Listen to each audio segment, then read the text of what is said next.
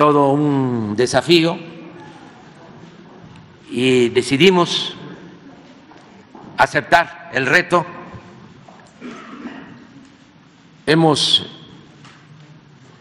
sostenido, hemos dicho de que antes de terminar nuestro mandato, esto es, antes de que eh, concluya eh, septiembre, vamos a tener en México el mejor sistema de salud pública del mundo.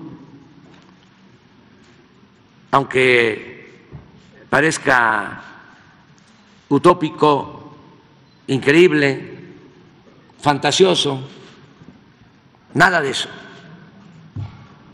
Los compromisos se cumplen y vamos a tener este sistema de salud con todos los médicos que se necesitan, médicos generales en un poco más de 11 mil centros de salud y unidades médicas, médicos especialistas para la atención del segundo nivel de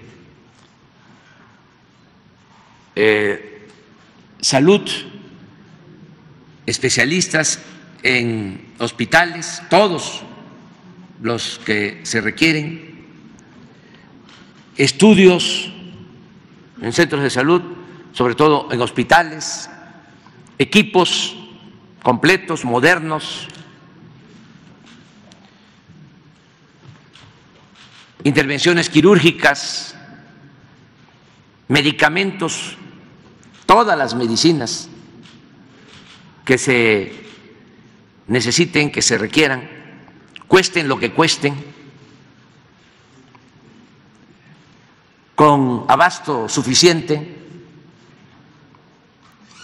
Y todo esto para atender a la población sin seguridad social.